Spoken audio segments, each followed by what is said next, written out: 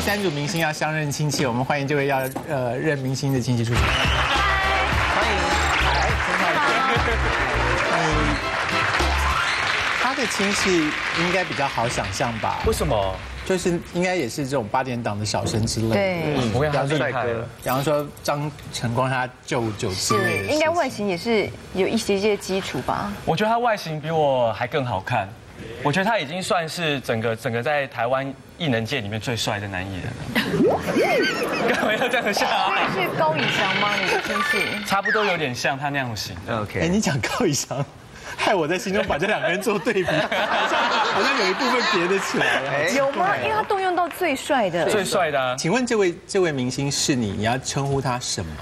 呃，表哥，表哥非常亲哎，他是我妈妈姐姐的女儿子，像差差点讲女儿，那很亲儿啊，那就是真的亲戚啊，表。哥。子。对啊，那不是应该啊常见面吗？因为我从小在南部长大，然后他一直在北部。哎，你碰到这个人的时候，真的叫表哥这两个字其实我不敢，开口，因为我不觉得这这个明星有喜欢人家叫他表哥对这两个字。哎，所以你的状况也是跟黄小荣一样，就是亲戚间已经会稀稀疏疏说你有一个明星表哥吗对他其实那个时候，因为他是男子偶像天团嘛，发片的时候你，真的很喜欢用夸大的词。因为他吩咐我一定要这样子是，A 四吗？仔仔的。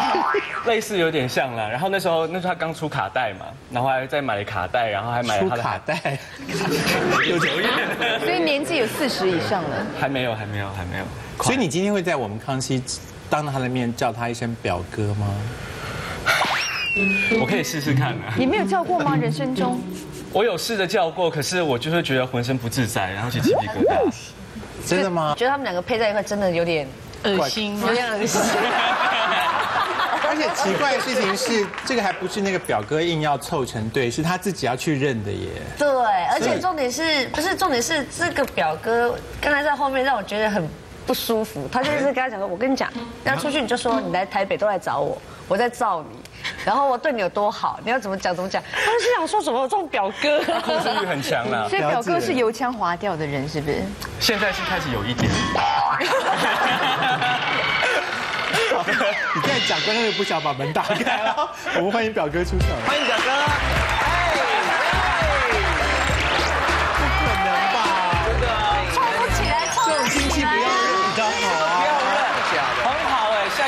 的这个主持人呢，他哪有天团呢？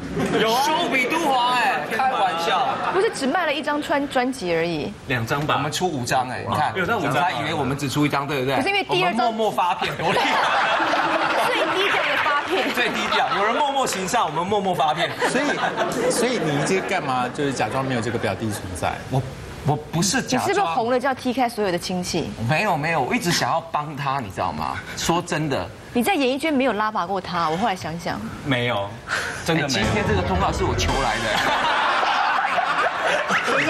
少这一因为我跟你讲，我们的路线不一样，我能够帮的。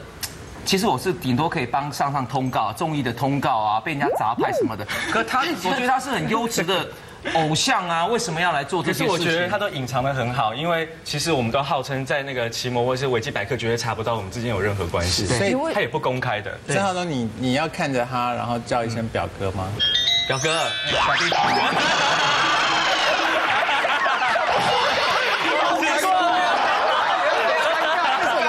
感觉好像这么简单的称呼会变得这。软掉，手臂都软了。对啊，这种感觉就觉得哎，好像要叫我我叫你妈一样啊。所以不然你都叫他什么？就小钟哥啊他啊，叫小钟哥啊，对啊你宁愿这样是不是？就是我们觉得就是嗯很生疏哎，你有点生疏啦，就是我们是最熟悉的陌生人。哎，你家族很庞大哎，很庞大啊。你还有别的明星家人是不是？还有一个我弟弟，他以前是南拳妈妈的里面一个巨炮，哦，对，OK，所以现在啊，对，巨。炮好像不想跟你相认的。巨炮，巨炮，因为巨炮帮周杰伦做音乐会，他等一下 label 更高啊。他在音乐圈音乐地位对，康熙盛典就他做的，对啊。